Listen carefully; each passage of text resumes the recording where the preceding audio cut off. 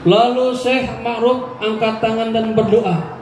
Allahumma kama farahtahum fid dunya fafarrihim fil akhirah. Itu doa orang soleh itu. Wali min awliillah. Ya Allah, sebagaimana engkau bahagiakan dia di dunia, bahagiakanlah mereka nanti di sorga, di akhirat. Apa yang terjadi? Katanya, belum beberapa waktu, belum panjang, belum lama. Tahu-tahu orang-orang itu yang tadi megang gitar, dia pecahin gitar-gitarnya. Dia hancurin gitar-gitarnya. Dia lari menuju Syekh Ma'ruf al-Khulqi. Dia cium tangan dan mengatakan, "Ya Syekh, nuridu an natuba baina yadaikum." Syekh, saya pengen tobat Bimbing saya biar bisa kembali kepada Allah. Biar kenal Allah seh. Apa kata gurunya sama murid-muridnya? Lihat. Kalau tadi kita sumpahin, wah, anak muda dia bilangin malah ngelawan dia. Ya, malah kita dibalikin. Tapi Nabi luar biasa dakwanya sangat lembut, sangat bijak. Ya, Ibu-ibu juga begitu. Bapak-bapak, kalau anaknya lagi dalam halah tariah, misalnya ya terkadang anak itu ada aja masa-masanya lagi dipanggil dia kagak denger. Saking enaknya main gitu. Mat, mat, mat. Lah kagak denger. Padahal dekat kita. Muhammad, Muhammad, agak denger dia. Ya, ada anak kita dari masanya jauh dari Allah. Mungkin kurang tarbiyah juga. Atau ujian kita. Jangan buru-buru. Mampus lu. Kagak berkah lu. Jangan. Doa orang tua itu kaduaun nabi, kaduain nabi ala ummati. Seperti doanya nabi kepada umatnya mustajab. Memang ada istilah begini dalam dunia terbiyah. Al-abdu yukra'u ayyudrabu bil asa wal hurru takfihi bil isyarah. Kalau dalam kitab Minhajul Abidin bil Ma'am Beda istilah, tapi sama maknanya. Kalau anak kita nih lagi sedang-sedang bader-badernya mukabbalat bisyahawat terbelenggu dengan syahwatnya. Ya memang sekali-kali boleh juga kita apa? Kita pukul bil asa sebagai bentuk tarbiyah agar dia jerak agak mengulanginya lagi. Tapi kalau anak-anak yang cerdas hatinya penuh dengan nur min anwari min anwarillah penuh dengan ilmu-ilmu Allah. Kita kedipin mata aja dia takut dia. Kata dehem aja dia takut dia. Ayah saya di Klender dikenal galak. Suatu saat saya belum pernah main layangan belum pernah saya nggak bisa main layangan saya. Habis saja hujan saya main layangan. Kan gak ada anginnya itu. Kebayang saya coba main layangan, agak naik-naik. Ayah saya lewat dari rumah pengen ke kontrakan ke sawah itu. Jalannya cepet itu. Itu kalau sudah jalannya cepet, kita anak harus paham itu. Buru-buru ngikutin belakangnya. Kalau kagak bisa kejutan melayang. Ya, ada orang-orang yang memang harus dididik dengan asal jika dia kebluk kebluk kebluk kebluk banget bahasa Nabi seperti kuda. Kupingnya kuping kuda. Maka kuda dipukul baru lari.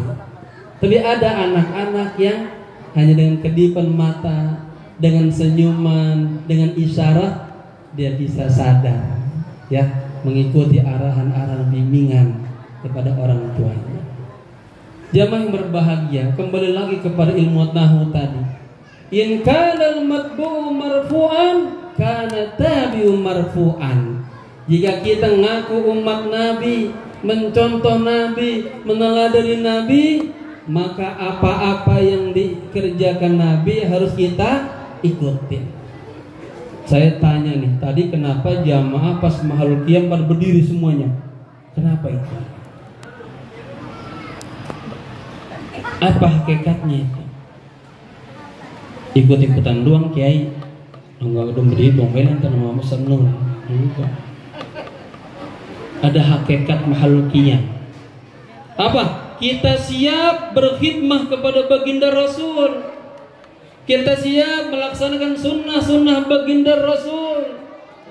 Sebagaimana perkataan Sayyidina Hasan bin Thabit, "Qiyami lil habibi alayya fardun wa tarkul fardi ma huwa mustaqimun." Ajaban liman lahu aqlun wa fahmun yara hadal jamal, hadal maqam katanya. Sahabat ya setelah masuk Islam syair-syairnya yang tadi penuh dengan cinta ada makna-makna yang jorok-jorok ini pengaruh sastra Islam merubah para sahabat syairnya malah memuji Nabi. Apa kata Sin Hasan? Qiyami lil habibi alayya fardun wa tarkul fardi ma huwa mustaqimun. Ajaban liman lahu aklun wa fahmun yaro hadal jamal hadal maqam walam yakum begitu bagusnya ajaran baginda Rasul ajaran yang bukan datang daripada hawa nafsunya tapi min wahyillah. Wa ma yantiqu anil hawa in huwa illa wahyu yuha. Jamaah yang berikutnya lagi saya ambil contoh-contoh aja ya. Tadi sebelumnya Habib sudah menceritakan tentang mahuan Nabi. Sudah paham semuanya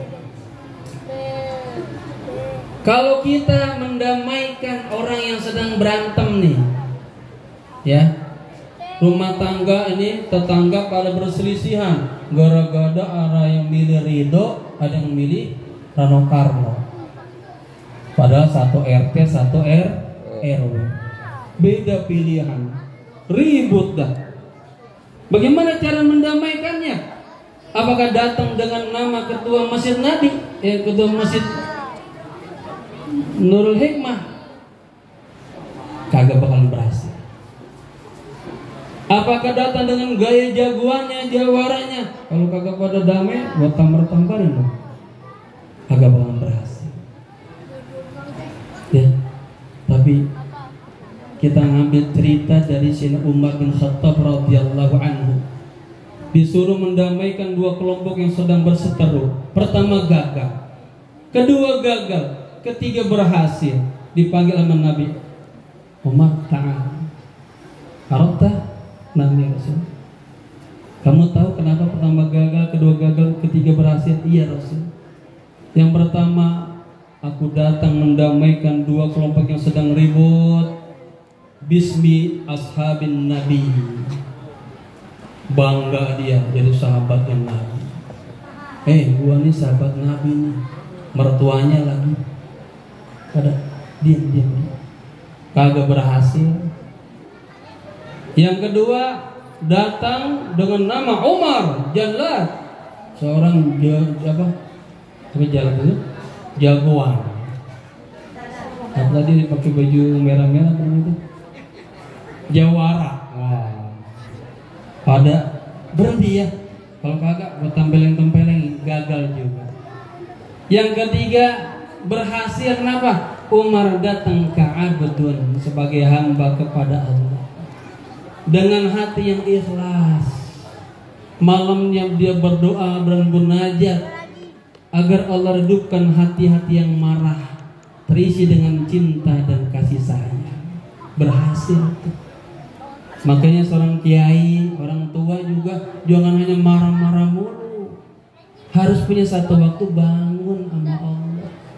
doain anak-anaknya doain itu masyarakatnya doain jamaahnya begitu Salah satu ciri waliun min illah dia nggak pernah doa untuk dirinya sendiri. Doanya selalu untuk umat, untuk bangsa, untuk negara, untuk masyarakatnya. Karena kalau kita baik sendirian, sementara umat pada berantakan, kita kagak berhasil dalam dak dalam dak. Yang berbahagia, saya angkat lagi cerita tentang tasamuhnya baginda Rasul.